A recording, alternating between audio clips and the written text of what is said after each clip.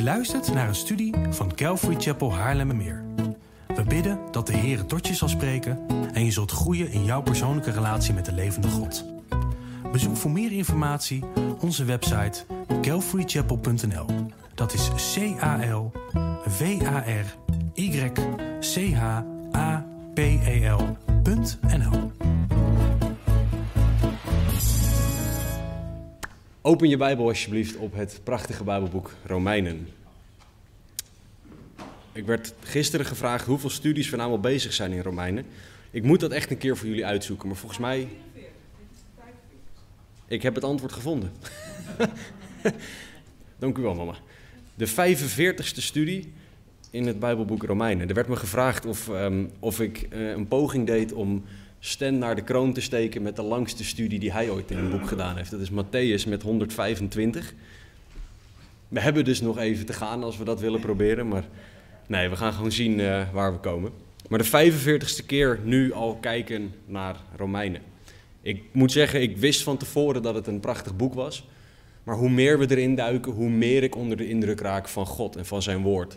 En van zijn glorie. En de afgelopen twee zondagen hebben we specifiek naar iets gekeken waardoor we onder de indruk mogen raken, horen te raken van God. We hebben gekeken naar wie de God is die voor ons is.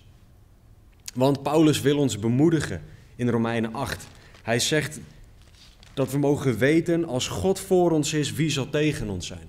En daarom is het zo'n zegen om uit te vogelen wie die God is, zodat we op basis daarvan bemoedigd zijn, omdat Hij het is die voor ons is. En we hebben gezien dat God oneindig is en dat dat de basis is voor al zijn dingen, want alles wat Hij is, is Hij oneindig. Er komt nooit een einde aan een van zijn eigenschappen. We hebben gezien dat God almachtig is, dat God trouw is, soeverein, dat Hij liefde is, zoals liefde gedefinieerd wordt door de Bijbel. We hebben gezien dat God rechtvaardig is en eentje waar we niet zoveel over nadenken, dat God een verterend vuur is. En allemaal eigenschappen die wij mogen leren kennen. En nog veel meer eigenschappen zijn er van onze God. We mogen Hem kennen, we mogen ook al deze eigenschappen ervaren. Want God is niet een God van intellectueel niveau, dat we alleen maar Hem op intellectueel niveau kunnen kennen. Maar Hij wil ook dat we Hem ervaren voor wie Hem is. En door Hem te leren kennen, kunnen wij gerustgesteld worden. Want de context van Romeinen 8 is dat we het hebben over heiliging. En over niet altijd leuke situaties. Soms zelfs pijnlijke situaties. Situaties waarin je vraagt: waarom Heer? Waarom ik? Waarom nu? Waarom op deze manier?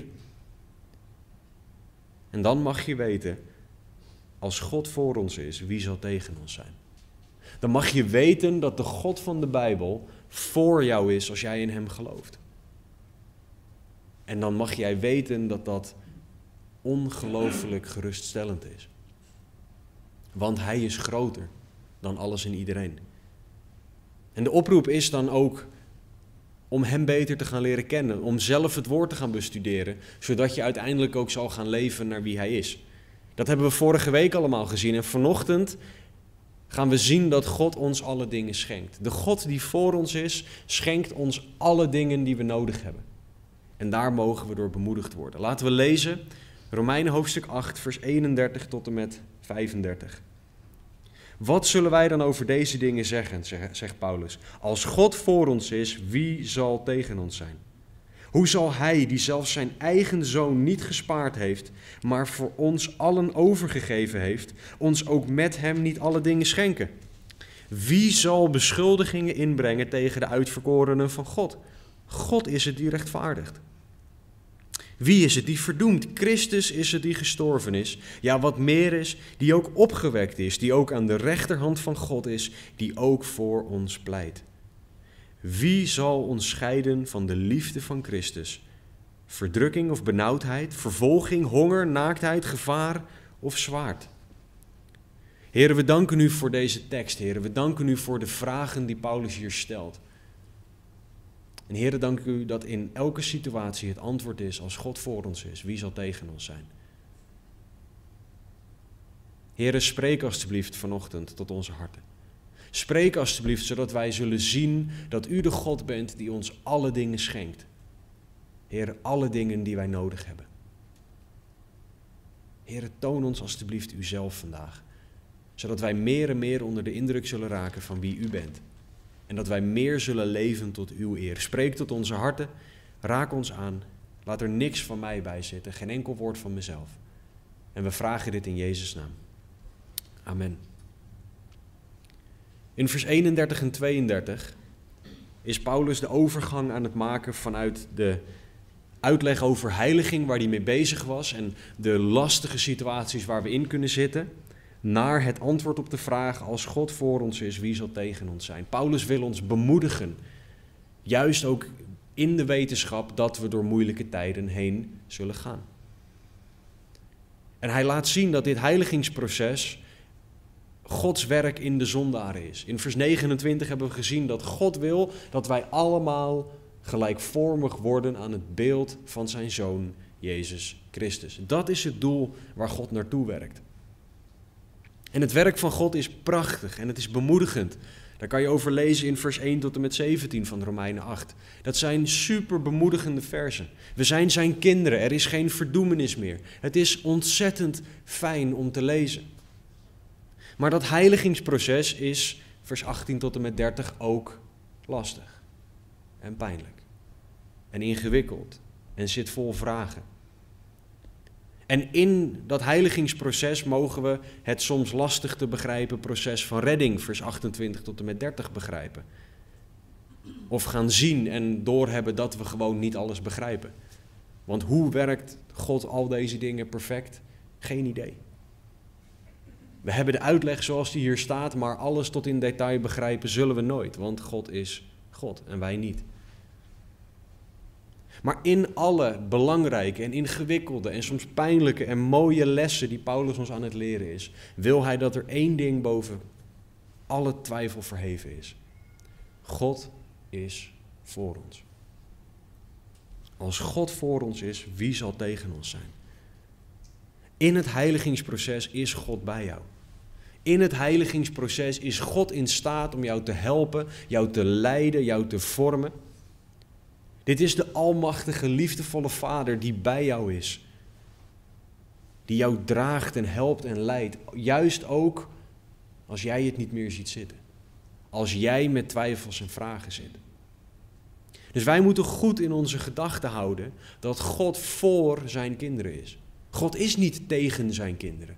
God is niet bezig om zijn kinderen tegen te werken.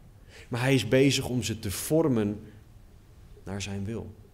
Hij wil dat we leven naar zijn wil, omdat dat de allerbeste wil is die er is.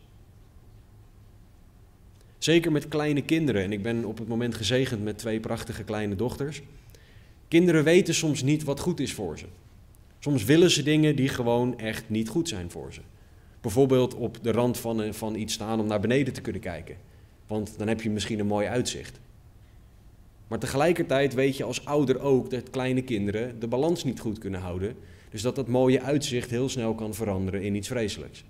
Als een klein kind over de rand kukelt. Wij weten vaak niet wat goed voor ons is. Wij willen dingen, maar wij willen vaak dingen die helemaal niet goed voor ons zijn. Gods wil is de beste wil die er is. En daarom wil Hij dat wij leven naar Zijn wil, op Zijn manier. En daarom heiligt Hij ons, verandert Hij ons, kneedt Hij ons, zodat wij zullen gaan leven naar Zijn wil. En in dat proces mogen we weten, als God voor ons is, wie zal tegen ons zijn? En je kan het heel simpel maken. Onze papa is de grootste en onze papa is de sterkste. Kleine kinderen zeggen altijd: Mijn papa is de sterkste. Nou, wij kunnen dat letterlijk zeggen. Onze papa is de sterkste. Onze papa is de grootste. Onze hemelse papa is de grootste, de sterkste. Hij is heilig en hij is rechtvaardig. En dat is hoe we bij hem mogen komen. Als de grootste en de sterkste papa die er is. Als God voor ons is, wie zal er tegen ons zijn? Want mijn papa is groter. In 1 Petrus 5:8 staat er dat Satan rondgaat als een brullende leeuw. En terwijl God die, die hemelse papa is, die groter en sterker is dan alles, zijn wij mensen toch zo vaak afgeleid door dat gebrul van die leeuw. Wij vergeten in heiliging, in lijden, in pijn, in vragen en in moeite wie God is. Wij worden gericht op onze omstandigheden of op die harde, brullende stem die we ergens in de achtergrond horen. En het enige wat Satan wil is ons afleiden van God en van zijn woord. Want als hij ons af kan houden van wie God is, dan zullen wij altijd op iets gaan vertrouwen dat minder is dan God. En alles dat minder is dan God, dat kan Satan overwinnen. Want we moeten hem niet onderschatten. Maar tegelijkertijd moeten wij juist onze ogen op God richten. Want God is de grootste. Hij is groter en sterker dan die brullende leeuw. Hij heeft Satan al overwonnen. En dat vergeten wij zo vaak in moeite. Want in pijn is het heel makkelijk en heel menselijk om alleen op je pijn en op, de, op het weghalen van jouw pijn gericht te zijn. Je kan zo makkelijk op je omstandigheden, je gevoel en op je vragen gericht zijn. Heren, waarom? Heer, u ziet dit toch, waarom haalt u het niet weg? En Gods antwoord is eigenlijk nooit het antwoord dat je wil horen, namelijk het antwoord op de waarom-vraag. Maar Gods antwoord is wat jij nodig hebt. Als God voor ons is, wie zal tegen ons zijn? Waar jij ook doorheen gaat, God zelf is het antwoord. En dan niet een theoretisch iets over God, maar echt het kennen van God. Het jezelf dwingen om aan God te denken boven de situatie waar je doorheen gaat. Je gedachten op zijn woord dwingen, omdat je weet dat als je dat niet doet, je binnen twee tellen weer denkt aan de situatie waar je doorheen gaat. Soms moeten wij onszelf dwingen om niet te luisteren naar die brullende leeuw, maar om ons te richten op wat er hierin staat. Want dit zijn woorden van eeuwig leven.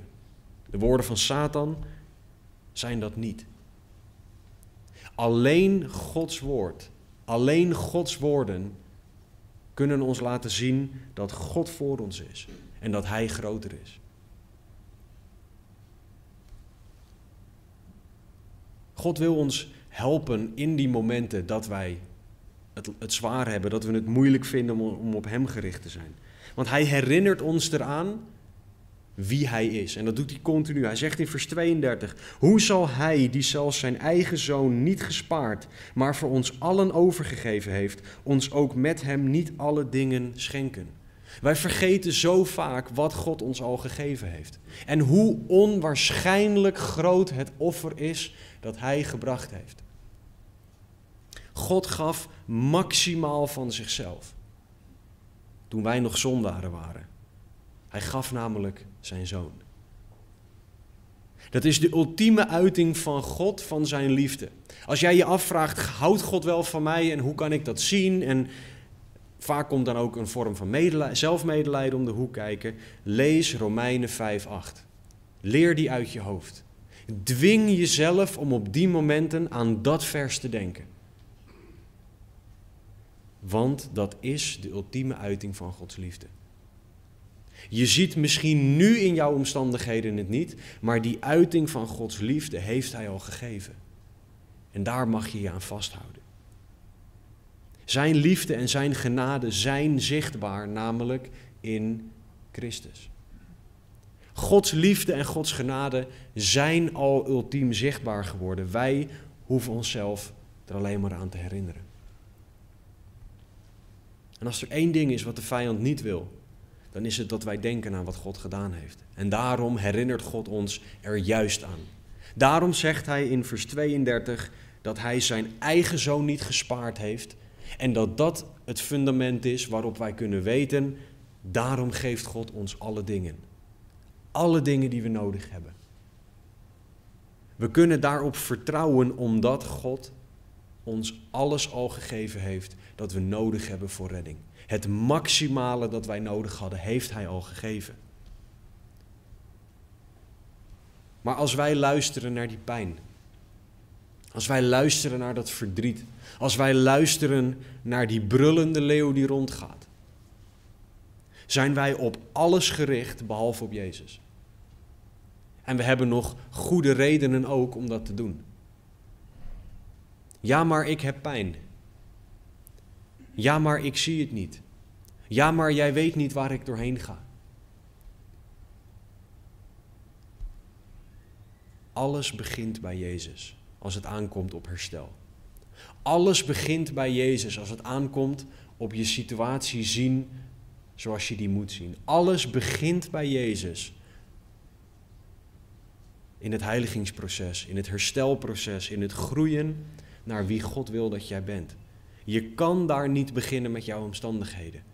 Als God voor ons is, wie zal tegen ons zijn?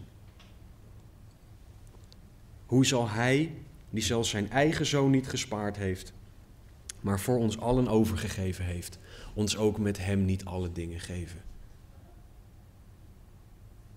Jezus is het bewijs dat God jou alles schenkt wat je nodig hebt. Daarom kan jij niet, christen, zonder jouw ogen op Jezus te richten. Jij kan niet anders dan je ogen op Jezus richten, want anders zal jij onderuit gaan. Alleen Jezus is sterk genoeg. Bijbelcommentator Matthew Henry heeft gezegd: Wanneer God voor ons is en wij in zijn liefde blijven, mogen we vrijmoedig al de macht van de duisternis trotseren. Laat Satan het maximale doen, hij is geketend. Laat de wereld haar maximale doen, zij is overwonnen. Overheden en machten zijn ontwapend en overwonnen in het kruis van Christus. Wie durft er dan tegen ons te vechten, terwijl God zelf voor ons vecht? Einde citaat. Zo vaak zijn wij gericht op de macht die we om ons heen zien. Op de moeite waar we doorheen gaan. Op de pijn en op de vragen waar we mee zitten. En dat is begrijpelijk voor de duidelijkheid. Dat is menselijk gezien heel logisch. Want je hebt pijn. En die pijn is echt en die pijn is er. Maar het is de vraag wat je met die pijn doet. Het is de vraag wat jij met die vragen doet waar jij mee zit. Ga jij ermee naar het kruis of ga je er zelf mee aan de slag? Heel vaak zeggen we, ja, je moet het een plekje geven. En ik begrijp wat we daarmee bedoelen. Maar de enige plek voor onze vragen, voor onze pijn, voor onze moeite is aan de voet van het kruis. Dat wij het aan Jezus geven en het bij Hem laten. Want als wij het een plekje geven bij onszelf, waar blijft het dan? In ons. En dat betekent dat het in ons blijft zitten. En dat het kan gaan etteren en wortel kan gaan schieten. En allerlei andere dingen kan gaan veroorzaken. Dus ja, we moeten het een plekje geven, maar we moeten dat het plekje geven bij Jezus. We moeten Hem alles geven, omdat Hij alle dingen aan kan. En dit voelt heel tegenstrijdig misschien. Dit voelt misschien als heel slecht advies, want ik moet hier iets mee en ik hoor van iedereen dat ik er wat mee moet. Maar wij moeten weten dat God voor ons is en dat Hij groter is. En dat daarom alle dingen bij Hem veilig zijn. Dat Hij de enige is die elke situatie aan kan. En dat we alleen alles aan Hem over kunnen geven. Wij moeten ervoor kiezen, boven ons voelen, boven ons denken, om dit over te geven aan Hem. Om onze vragen en onze pijn en onze twijfels aan Hem te geven. Om alles over te geven aan Jezus, want dat is de enige plek waar alles veilig is. En Hij zal ons dan alle dingen schenken om door te gaan, om te leven naar Zijn wil, om te doen wat Hij van ons vraagt. Hij heeft zijn eigen zoon niet gespaard, maar voor ons allen overgegeven. En het is niet zo dat Jezus een beetje ontving van wat wij zouden moeten ontvangen. Jezus ontving alles wat wij hadden moeten krijgen. Dus Jezus ging ontzettend ver. Verder dan wij doorhebben. En dat is het bewijs dat God van jou houdt. Dat is het bewijs dat God alle dingen voor jou al gedaan heeft die je nodig hebt. maar dat jij alleen nog maar naar Hem hoeft te rennen. En jezelf over hoeft te geven aan Hem. En je gedachten en je hart over te geven aan Hem. Zodat jij gevuld zal zijn met wat Hij voor jou heeft. Met Zijn gedachten, met Zijn wil. In de plaats van met je eigen pijn, vragen, moeite en je eigen situatie. Filippenzen 4:8 zegt het volgende: Verder broeders, al wat waar is, al wat eerbaar is, al wat rechtvaardig is, al wat rein is, al wat lieflijk is, al wat welluidend is, als er enige deugd is en als er iets prijzenswaardigs is, bedenk dat. Onze gedachten worden zo snel gevuld met onze omstandigheden. Je wordt ermee wakker, je gaat ermee naar bed. En tussendoor zit het ook in je gedachten. Al wat waar is, al wat eerbaar, rechtvaardig, rein, etc. is, bedenk dat. En God heeft ons alles gegeven om dat te doen. Want Jezus heeft alles al overwonnen aan het kruis. Jezus heeft ons al alles gegeven dat wij nodig hebben voor eeuwige redding. Namelijk zichzelf. Maar als wij op iets anders gericht zijn dan op die Jezus, als wij op iets anders gericht zijn, van iets anders afhankelijk zijn dan het offer van Jezus Christus, zullen wij geleid worden door onze omstandigheden, door onze pijn, door onze vragen, in de plaats van geleid te worden door God. En Jezus werd in alles perfect geleid door God. En als wij dus gelijkvormig horen te worden aan het beeld van Jezus, dan horen wij ook in alles geleid te worden door God. Jezus heeft ons redding gegeven. Het grootste cadeau dat wij ooit konden ontvangen. Redding van onze zonde. Daarvoor had, gaf Hij zichzelf. Zou Hij ons dan ook niet de mindere of de kleinere dingen geven die wij in het leven verder nog nodig hebben? Als God voor ons is, wie zal tegen ons zijn? Wij krijgen alle dingen van God die we nodig hebben. Dit is wie God is. Het is heel belangrijk om te definiëren wat God ons dan geeft. Want dit is zo'n vers dat heel erg misbruikt kan worden. Want God geeft mij alle dingen, dus ik mag God om een Ferrari vragen. En ik mag God om een nieuw huis vragen en om een nieuwe baan en om gezondheid en om wat dan ook. Vul daar maar in wat de verlangens van jouw hart misschien wel zijn. We moeten goed definiëren wat het betekent dat er staat: zou, ons, zou Hij ons ook met Hem niet alle dingen schenken? God bedoelt daarmee niet dat je gewoon alles kan vragen en dat God verplicht is om ons alles te geven. Dat Hij verplicht is om ons alle dingen van ons hart te geven, hoe zondig ze misschien ook zijn.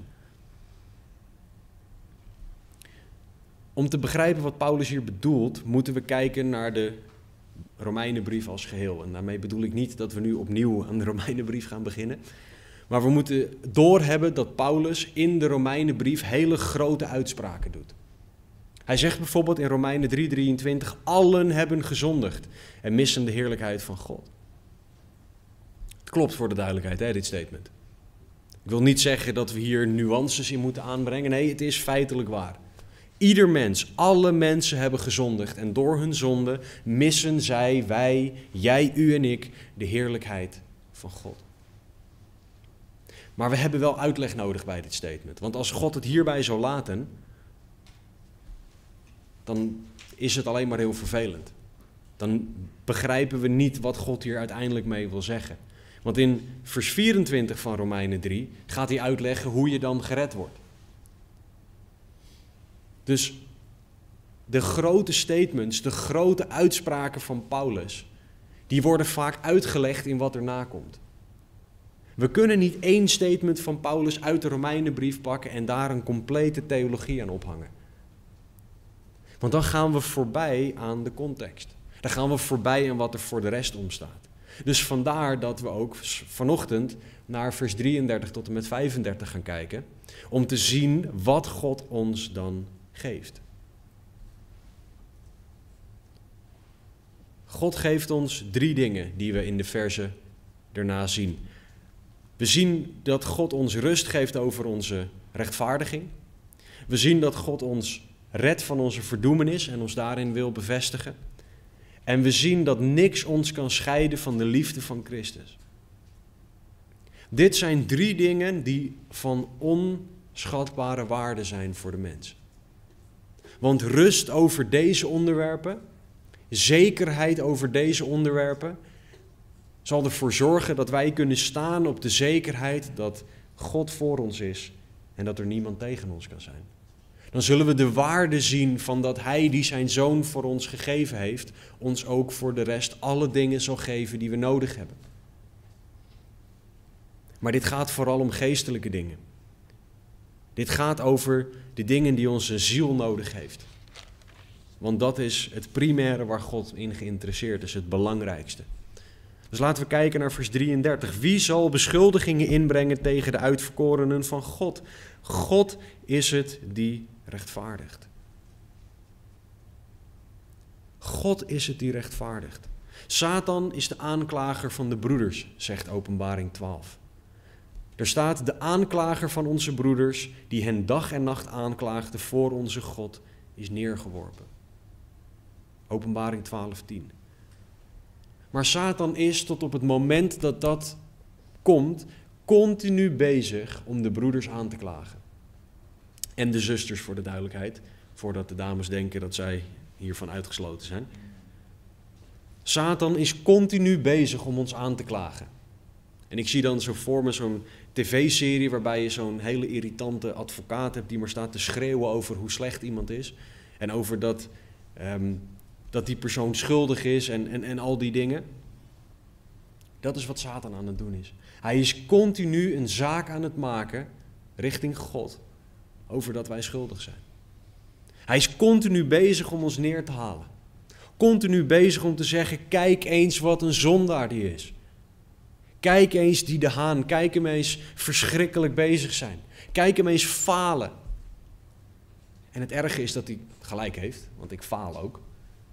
En hij heeft, Satan heeft gewoon een hele hoop lijstjes met zonden die we begaan. Dus een hele hoop van de dingen die kloppen. Hij vertelt wat we fout doen. En dit is onder andere wat hij ook bij ons doet. Wat dat rondgaan als een brullende leeuw, wat dat betekent. Dat Satan ons er continu op wijst. Kijk eens wat een pannenkoek je bent. Je faalt.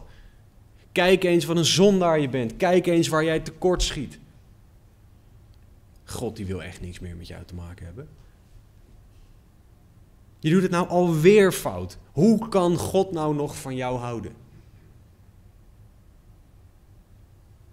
Wie zal beschuldigingen inbrengen tegen de uitverkorenen van God? God is het die rechtvaardigt. Satans woorden kunnen ons zo afleiden, kunnen ons zo bang maken, zelfs bang voor God maken. Ja, want misschien vindt God me wel echt niet meer lief. En misschien, ja, hoe, hoe wat, wat nu? Ik ben nu beschuldigd en nu ja, is, is Jezus bloed wel voldoende en gaat het wel goed als ik nog een keer zondig? En we kunnen gaan twijfelen aan God. Als wij niet vaststaan op het feit dat God ons rechtvaardigt, kunnen wij gaan twijfelen aan Gods beloftes. En uiteindelijk daarmee aan wat God gedaan heeft. Wij kunnen gaan twijfelen of we wel echt zijn kind zijn. Of we wel echt gered zijn. Of God ons niet aan het straffen is en dat we daardoor door deze situatie heen gaan. En Satan die wil twijfel zaaien. Hij wil dat we vragen gaan stellen die we niet hoeven te stellen omdat het woord ons daar antwoord op geeft. Hij wil dat we God gaan wantrouwen. Zoals we in de Hof van Eden al zagen, heeft God echt gezegd dat hij alle zonden vergeeft? Even toepassend op deze situatie. Heeft God echt gezegd dat hij ook dit vergeeft? Nee, echt niet. Satan kent ons zo goed. Hij weet wat hij moet doen om ons te laten twijfelen. En juist in pijn en in moeite gaan wij snel twijfelen. Omdat we door pijn en moeite heen gaan. En als hij het voor elkaar heeft dat jij gaat luisteren naar die beschuldigingen. Wie zal beschuldigingen inbrengen tegen de uitverkorenen van God? Nou, Satan doet de hele dag zijn best. Als hij voor elkaar heeft dat wij daarnaar luisteren, dan heeft hij voor elkaar dat wij niet meer luisteren naar God. Dus de uitdaging voor ons is om te weten dat God ons alle dingen schenkt, dus ook rechtvaardiging. Rechtvaardiging die vaststaat. Hij geeft ons zekerheid hierover. God is het die rechtvaardigt. Punt. Geen komma, geen punt, komma, geen zin erachter met tenzij jij voldoet aan criteria X, Y, Z. Nee, punt. God is het die rechtvaardigt. Bijbelcommentator Warren Wiersbe heeft gezegd: God zal ons zeker niet beschuldigen, aangezien Hij ons gerechtvaardigd heeft.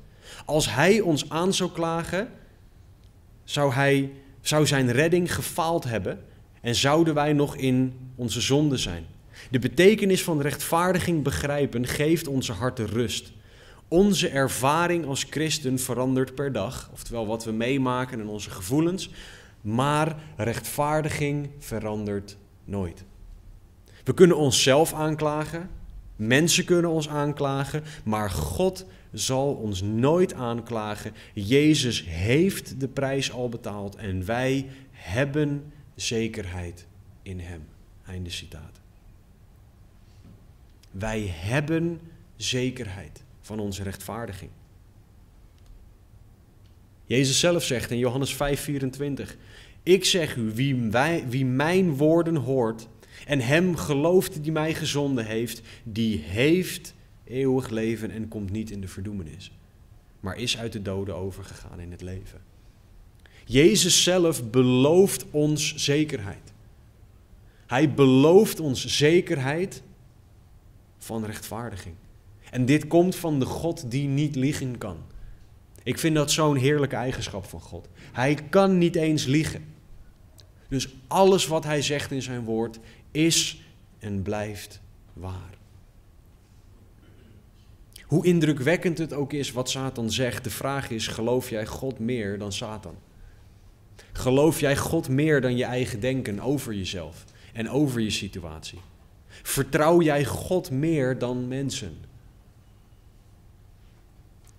Of doe jij wat jij doet omdat persoon X, Y, Z het gezegd heeft? Je moet bijvoorbeeld ook nooit iets doen omdat Stan of ik het tegen jou zegt. Je moet het doen als het in de Bijbel staat. Als het niet in de Bijbel staat, heb ik geen gelijk. En ik ben een feilbaar mens, oftewel ik maak fouten. Als je een lijstje wil, mag je mevrouw uh, een keer aanspreken. Wat betekent dat je mij minder moet vertrouwen dan Gods woord. Je moet Gods woord boven alles geloven. Die keuze is aan jou. En dan zal God jou schenken dat je zekerheid hebt van je rechtvaardiging.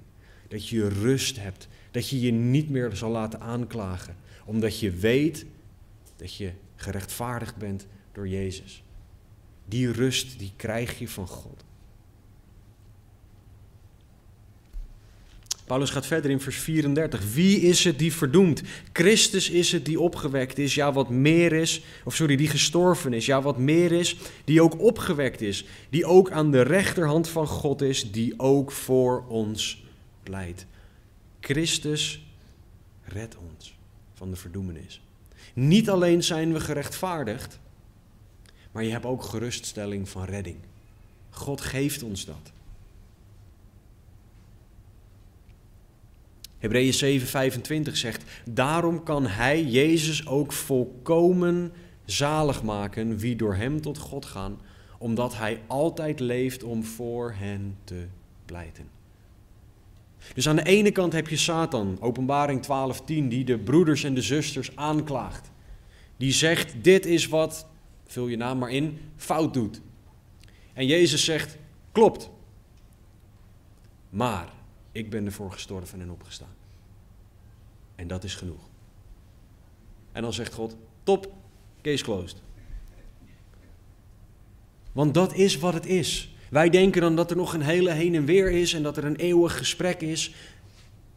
Jezus kan volkomen zalig maken. Wie is het die verdoemt? Alleen God kan dat. En als Jezus voor jouw zonde gestorven en opgestaan is, heb je eeuwige zekerheid. Satan wil zo graag dat wij hier aan twijfelen. Dat we twijfelen aan het kruis, twijfelen aan God, wat God gezegd en God gedaan heeft. Dan heeft hij ons zo te pakken. Als we aan één dingetje gaan twijfelen van God, dan gaan we aan alles twijfelen van God uiteindelijk. En daarom mogen we vasthouden aan wat de Bijbel zegt. In vers 34 noemt Paulus vier feiten op over wat Jezus gedaan heeft. Hij noemt feiten waar wij op kunnen bouwen. Hij zegt, Jezus is gestorven. Christus is het die gestorven is. Door Jezus sterven heeft hij de straf voor jouw zonden gedragen. Er is geen verdoemenis meer, zegt Romeinen 8, vers 1. Jezus heeft het al voor jou gedragen. Daar mag jij op vertrouwen en op staan. Jezus sterven is zo belangrijk. Tweede, ja, wat meer is, die ook opgewekt is. Jezus' opstanding laat zien dat hij machtiger is dan de dood. En daardoor kunnen wij, Romeinen 8, vers 14 en 15, geleid door de geest leven als zijn kind. Hoe fantastisch is dat? Hoe gezegend zijn wij door Jezus dood en Jezus opstanding? Maar zoals altijd gaat God verder. Het is niet alleen zijn dood en opstanding, die ook aan de rechterhand van God is, het derde punt. Jezus zit nu verheven aan de rechterhand van God, de plek van glorie en eer. En daardoor hebben wij hoop, Romeinen 8, vers 18 tot en met 25. Onze hoop is gebaseerd op het feit dat Jezus nu aan de rechterhand van God zit. Dat in elke situatie Hij soeverein is. Dat Zijn dood en Zijn opstanding genoeg zijn in en voor elke situatie. En als laatste, die ook voor ons pleit. Jezus pleit voor ons, zoals Hebreeën 7:25 ook zegt. Hij pleit voor ons. Waar Satan continu aan het proberen is om ons aan te klagen, zegt Jezus: het kruis. Dat is zijn enige, enige argument. Het kruis.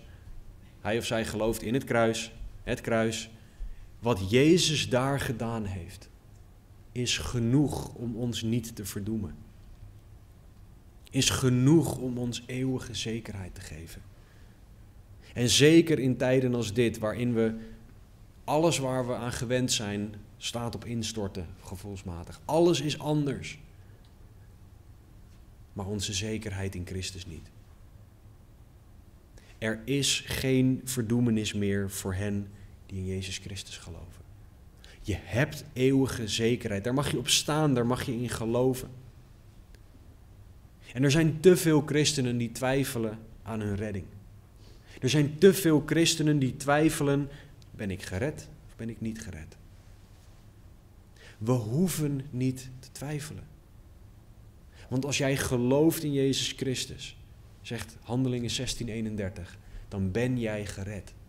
En de Jezus die jou redt, kan jou volkomen zalig maken, zegt Hebreeën 7. We kunnen dus zekerheid hebben, omdat Jezus dit voor jou gedaan heeft. En misschien is het een, een, een harde conclusie, maar als jij twijfelt aan jouw redding, dan twijfel jij eigenlijk of wat Jezus gedaan heeft wel genoeg is. Dan twijfel jij aan Jezus' werk aan het kruis. Doe dat niet alsjeblieft. Geloof wat het woord zegt. Vertrouw God omdat Hij de God is die niet liegen kan, nummer 23, 9. En breng die vragen en die twijfels, geef het niet een plekje, maar breng het naar het kruis. Breng het bij Jezus. Ga naar Hem toe, leer vertrouwen op Zijn werk. Wanneer Satan jou aanklaagt, en dat gaat hij doen, kijk naar Jezus. Dwing jouw gedachten op Hem. Dwing jezelf om te denken aan het vervulde werk van Jezus Christus, in de plaats van aan jouw omstandigheden. Want Alleen Jezus kan jou helpen in en door je omstandigheden heen. Het derde punt wat Paulus aanhaalt van wat God ons geeft. Alle dingen die God ons schenkt staat in vers 35. En ik weet het, het eindigt met een vraagteken, dus het voelt misschien een beetje als een raar vers om los te behandelen, maar daarvoor is de volgende Romeinenstudie, dan gaan we verder. Paulus schrijft: Wie zal ons scheiden van de liefde van Christus? Verdrukking, benauwdheid, of vervolging, of honger, of naaktheid, of gevaar, of zwaard? Paulus die doet hier twee dingen in dit vers, wat, wat je misschien nog niet is opgevallen. Hij stelt de belangrijke vraag: wie zal ons scheiden van de liefde van Christus? Dus een persoon. Welke persoon kan ons scheiden? Hij geeft daar niet eens antwoord op. Omdat we in vers 32 gelezen hebben over de uiting van Gods liefde, namelijk zijn zoon die ons gegeven is. Dus het antwoord is niemand op de eerste vraag. Wie zal ons scheiden? Maar in het tweede deel van het vers, de tweede vraag die hij stelt, is geen wie. Maar het is een wat. Dus niet alleen wie kan ons scheiden, maar wat kan ons scheiden van de liefde van Christus? Kan verdrukking of benauwdheid, vervolging, honger, naaktheid, gevaar of zwaard ons scheiden van de liefde van Christus? Het antwoord is nee. Niets kan ons scheiden van de liefde van Christus. Daar, dat is de conclusie waar Paulus naartoe werkt in vers 39. Hij gaat allerlei dingen noemen en hij zegt dat dat allemaal ons niet zal kunnen scheiden van de liefde van God in Christus Jezus onze Heer. Niet alleen een wie, maar ook een wat kan ons niet scheiden van God en van zijn liefde. Gods liefde is eeuwig en vast. Het is een liefde waarmee hij van ons houdt met eeuwige liefde. Dat is hoe God van zijn kinderen houdt, zegt Jeremia 31. En ook dit is een waarheid waar Satan zo graag wil dat we die niet doorhebben. Dat we die niet realiseren. Dat we ons daar niet aan vasthouden. God houdt wel van, mij, van iedereen behalve van mij. Of nu ik dit gedaan heb, houdt God niet meer van mij. Door deze situatie weet ik dat God niet meer van mij houdt. Want als Hij wel van mij hield, zou ik niet in deze situatie zitten. Zo denken wij vaak. En toch zegt Paulus: verdrukking, benauwdheid, vervolging, honger, naaktheid, gevaar of zwaard. Dit zijn geen leuke wats. Dit is niet een lekker feestje op het strand in het, in het zonlicht, lekker aan een helder blauw stuk water. Dit is vervelende situaties. Die kunnen jou niet scheiden van Gods liefde. Het kan niet, zegt Paulus. En Satan wil dat we dit vergeten. Dat we hier aan twijfelen. Dat we ons leven niet op deze liefde bouwen, maar op iets anders. En het liefst op ons eigen kunnen. Want als er iets is wat Satan goed onderuit kan halen, dan is het ons eigen kunnen. Maar wij moeten onze gedachten ertoe dwingen om te realiseren dat God van ons houdt. 2 Korinthe 10, vers 3 tot en met 5 is echt een cruciaal stuk voor iedere christen om te kennen.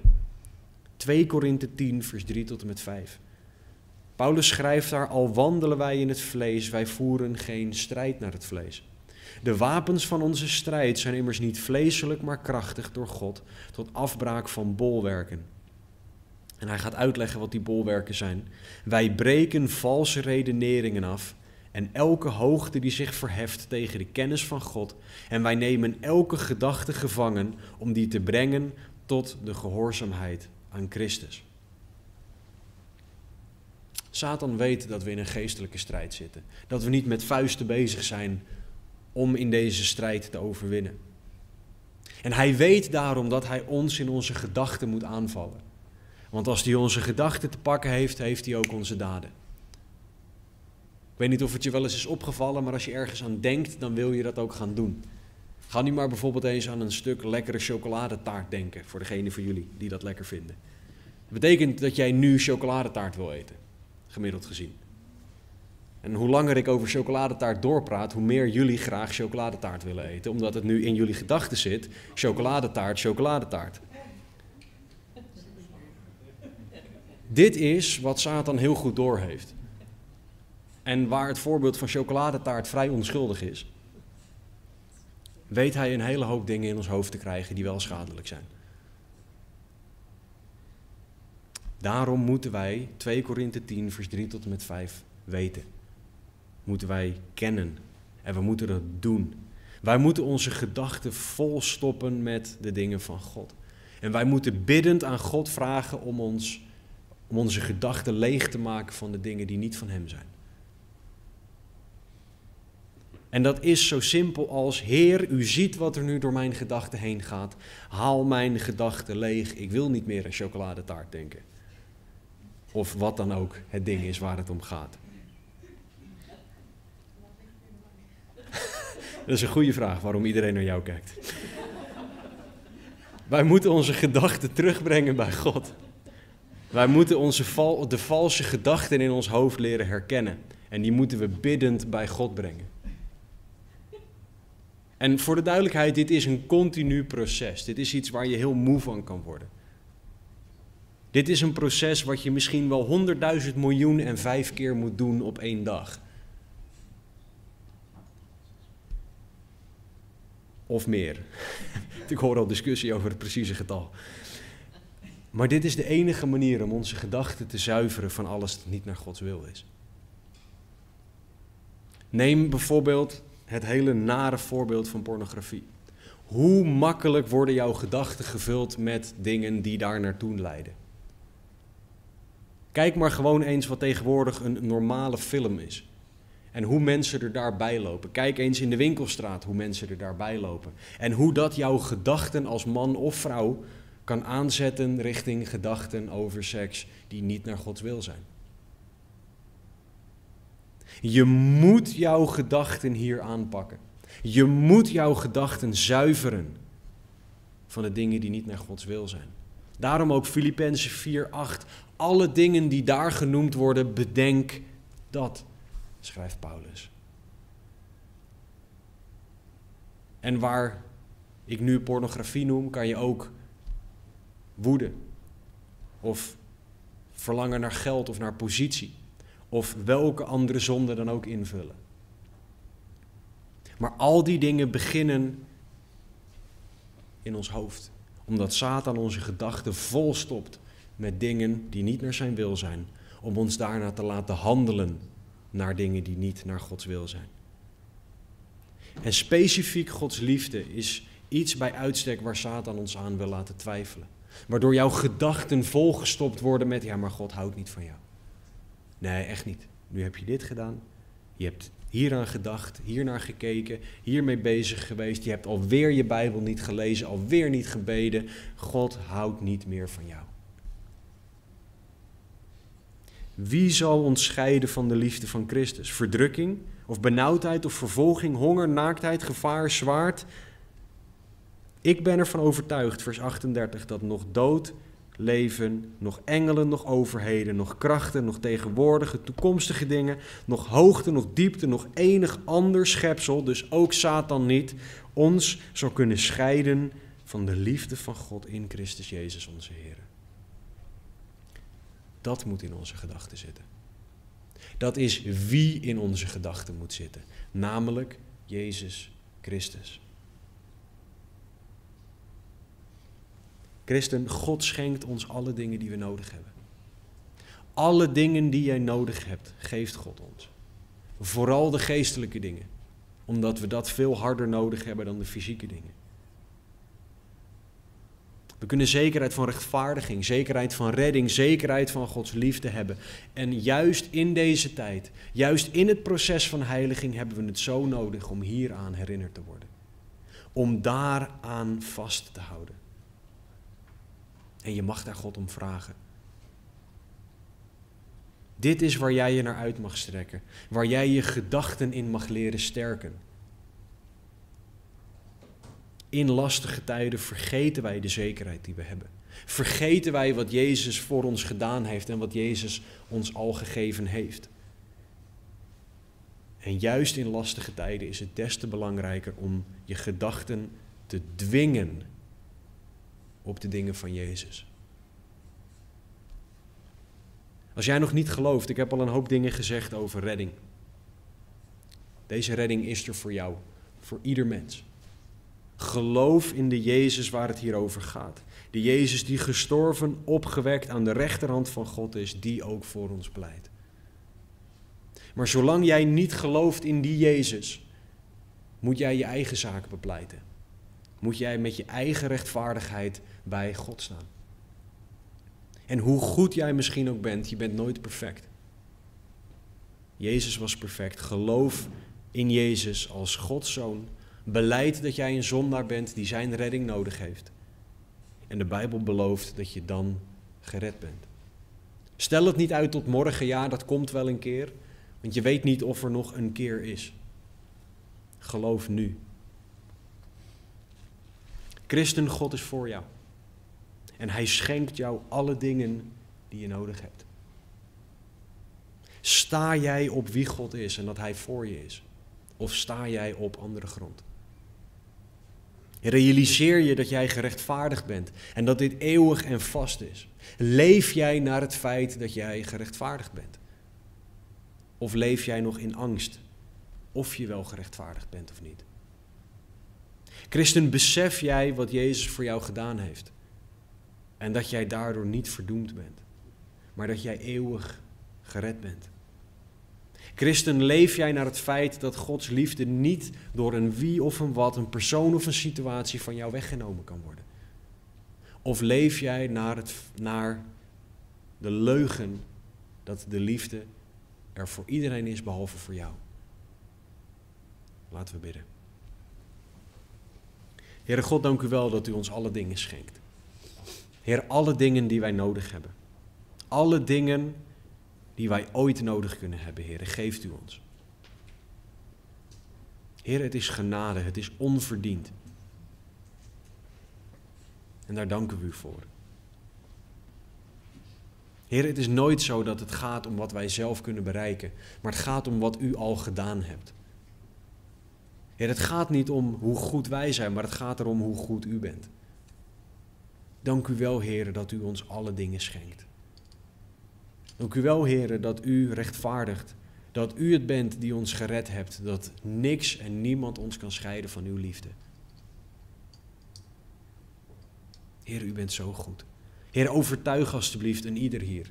En ieder die meeluistert of die dit naluistert. Overtuig hen alstublieft van wie u bent. En overtuig hen van het feit dat u hen alle dingen schenkt die ze nodig hebben. Heren, dat er geen rechtvaardiging buiten u is. En dat die rechtvaardiging vast is. Dat er geen redding buiten u is en dat die redding vast is. En heren, dat uw liefde eeuwig en zeker is. Wat een genade, heren, wat een liefde. Toon ons uw glorie, alstublieft. En laat in ieder alstublieft zien wie u bent. Heren, dat vragen we in uw almachtige naam, in Jezus' naam. Amen. 1 Johannes 5:13. Deze dingen heb ik geschreven aan u die gelooft in de naam van de Zoon van God, opdat u weet dat u het eeuwige leven hebt en opdat u gelooft in de naam van de Zoon van God. Opdat u weet dat u het eeuwige leven hebt. Er is zoveel zekerheid die we kunnen hebben. Zoveel rust die we kunnen hebben. Door wat Jezus voor ons gedaan heeft. Het aanbiddingsteam gaat ons leiden in, in twee liederen. Als je gebed wil, loop naar een van de mensen toe die aan de achterkant van de zaal staan. Die zullen een keycord om hebben. Dan kan je met hem bidden.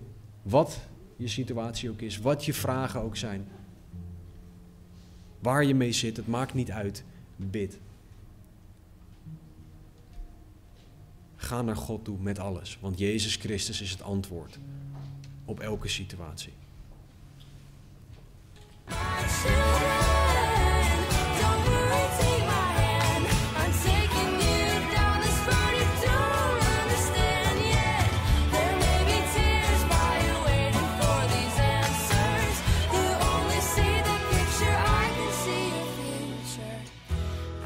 Tell you right now, it's gonna be alright.